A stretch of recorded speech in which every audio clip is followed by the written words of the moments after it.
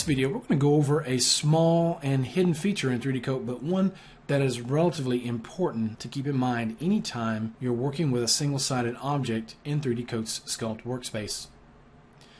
Now, as you may already know, you have two major modes to work with in this environment. One is voxels, which is volumetric pixels, and the second one is surface mode, which means you're working strictly with polygons, and that's it. So each mode has its own advantages and its own trade-offs.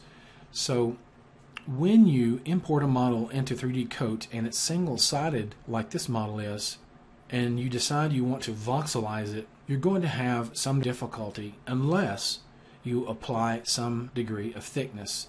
And the reason for that is just as in the real world, there are no single-sided objects. Everything has some level of thickness to it.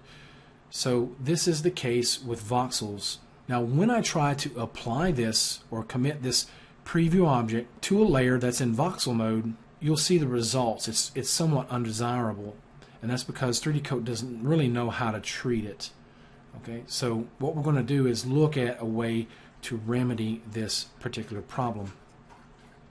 So I'm going to create a new layer here and I can see that it's in volume mode with the little V next to the layer.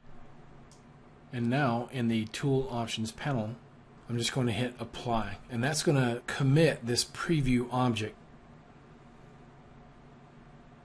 3D Coat is going to leave this preview object in place until you choose another tool.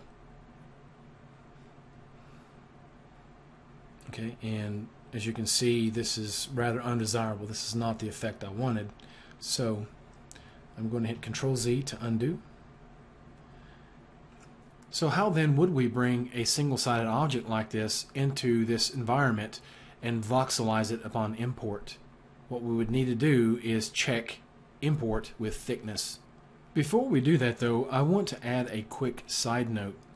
Anytime you're importing a model into 3D Coat, 9 times out of 10 you may want to bring it in as a surface mode object. And the reason for that is you don't have to be concerned with scale or layer resolution like you do with voxels and it will also come in looking exactly like it did in your host application when you exported it okay? Nonetheless for demonstration's sake we want to voxelize this object as we import it in. So we first need to be cognizant of two considerations. One is the scale of the object the other is the resolution on the layer itself because voxels are volumetric pixels, it works much the same way as does a document or an image in Photoshop. Meaning, if you want a high level of resolution, you need to start with a large canvas or a large size document. Alternatively, you could keep the same document size, like 8.5 by 11, a standard letter, and increase the resolution of that document from 72 dots per inch to something like 150 or 300 or more. So once more, this is the same concept you'll find when working with voxels in 3D Coat. If you scale this object up before you commit it, then it's the same thing as having a larger document size. You're automatically going to have more resolution the larger this model is. But it also means there's a little bit more trial and error. When it comes in, if it's still a little bit rough, you may have to make a few attempts to get it right. Also, if I don't want to fiddle with the scale, then I need to increase the resolution on the layer itself before I commit this preview object to a layer so that it has enough resolution to maintain the shape of the model that's coming in. So let's go ahead and apply a little bit more resolution to the layer first and hit apply once more and even though this is not the effect we want you can see we have more resolution. It maintains the overall shape much better. And if I zoom in and hit the wireframe hotkey, I can get a better visual inspection of the resolution. So I'll go ahead and clear that. This time, what I want to do is choose import with thickness. And if I zoom in, you have a preview here. You can adjust the inner thickness and the outer thickness. Now, let's hit apply.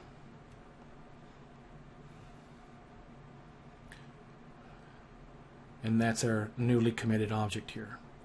I have a little bit of roughness at the top I need to clean up.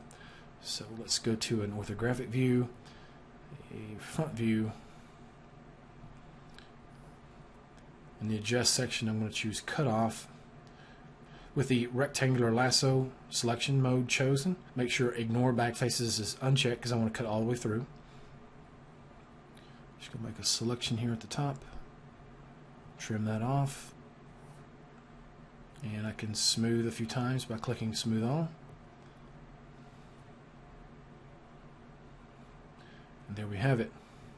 So what I'm going to do now is hide that layer. And this time I'm going to uncheck that import with thickness. And I'm just going to bring this in as a surface mode object. I'm going to click next to the layer on this little V here on this new empty layer. And when I see an S, I know that I'm in surface mode for this object. So when I hit apply, it's going to come in just as this model was when it was saved. Zoom in, toggle wireframe. If I click on the S icon in order to convert the layer to voxel mode, even if I give it quite a bit of resolution, let's say 1 million, you can see we get the same result as we did when we simply imported the model into voxel mode. Let me hit Control Z to undo.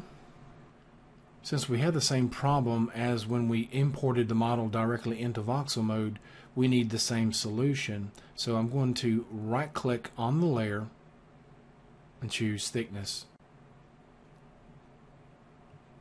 I'm going to look at the resolution on this and see if it's enough. Yeah, it should be. Okay. Let's try 0.7. The default value will be 4, but in this case that's way too much for uh, this particular object. So, Okay. Again, we have that same problem here up top. I'll just switch over to voxel mode and clean this up a bit. I'll try 1.2 million. Front view. Use the cutoff tool. Make sure ignore back faces is unchecked. And I can hit the space bar, choose smooth all. And if you use this command quite a bit, you may want to assign a hotkey to it. I'm going to hover over it and hit the end key on the keyboard and I'm going to assign Shift S to it and then that way I can just use my hotkey to continue to smooth it. And before I finish, I want to maybe bring up the question that might be asked at this point, and that is, well, why would I want to switch to voxel mode? Well, you'll probably find the more you work in this environment that when you're doing Boolean type of operations, voxel mode is the preferred method because 3D Coat has to do a lot less calculations. It's only having to calculate the voxel volume. So basically it's just turning on and turning off volumetric pixels in 3D space and then remeshes that volume with an adaptive mesh and it does it very quickly. So there's almost no fuss at all when you're doing Boolean type operations with voxels. It's extremely efficient at that particular task.